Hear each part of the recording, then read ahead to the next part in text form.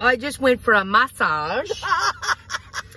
and I'm not the person that goes for a massage unless I need it, right? So, you know, you're a driver, your whole lower half is in trauma from not moving, right? The man had two hands. They were both like catcher's mitts. He was just a big guy, and I'm thinking, oh, sweet God, because I like the gentle touch, right? Like, I'm just thinking I am gonna die up on this table, right? He did this thing because my my hamstrings are always so tight. Yeah, they are. He did some kind of karate. Uh, ah! Uh, I swear to God, and it was right on where, like, I think it's the end of the seat that comes to my hamstrings.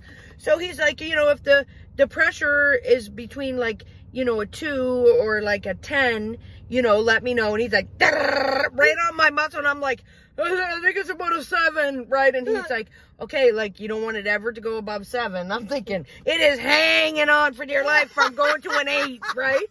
Eight, nine, ten, eleven, twelve, but it released it like That's that, awesome. and then he did like you know all this elbow stuff, and it's my piriformis. That's what it is. It's not. It's not sciatic. It's my actual ass that has. right. It's and it's not. It's it's because I I said I, I have a flat ass like my mother. That's that's exactly what I have. When he asked me about my pain, I was just like, it's at the nauseating feel good part. You know what I mean? Like Yeah. I'm likely gonna throw up on your floor right here, but I feel good about it. you know?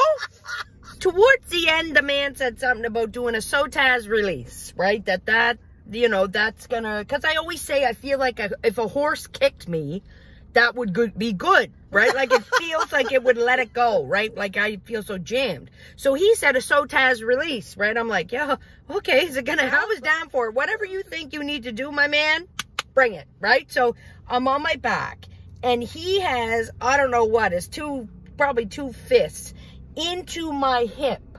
And I have my knee bent, right? So my knee's bent up and he got his two hands in there and he pushes down, right? Till you can handle it, right? Like right to that point when you say, I, I got my hand uh, on his, I don't know what it was, his tree trunk arm, right? I'm like, I'm like, oh, okay, okay, right? And then I had to straighten that leg.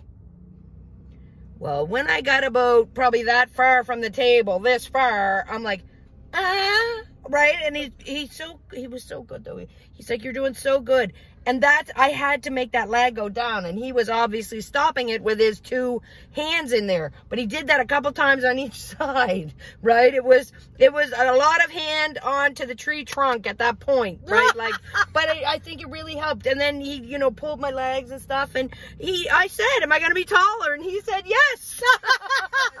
We're old, right? We forty. I'm forty-eight, and you're forty-six. Uh, mind your business. 46? Mind your business.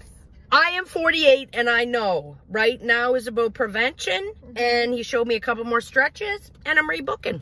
Yes, I am. Good job. Alex at Massage Addict. right? I'll see you in a week or so, honey. Yes, I will.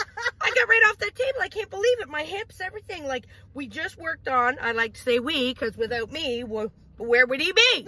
right? Worked from my hips down, right? Like, he was to do some of my arm, but no, there's no time for that. And I said, stay right on it. Stay on that ass.